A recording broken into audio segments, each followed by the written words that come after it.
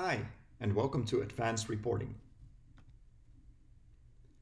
Within this session, we will be covering a lot of topics within the Now Platform reporting solutions. I will be talking about how we see reporting, all the benefits that come having it inside our Now platform, as well as within all the integrated apps on top of that platform, and how we position reporting together with performance analytics.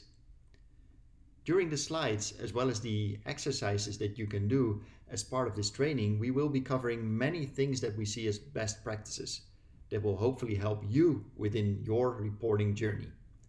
Within the exercises, you will be able to hands-on do those things that I just talked about before.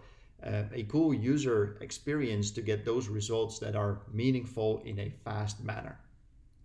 Finally, some key takeaways those parts that we want you to always remember within the world of Now Platform reporting.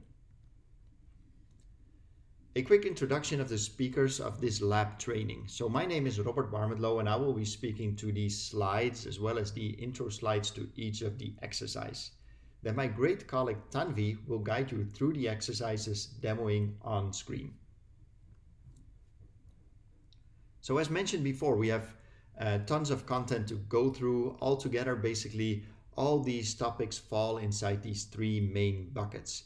You will be learning how to make the best use of more advanced reporting capabilities, how to use the data visualizations in a meaningful, actionable, and interactive way.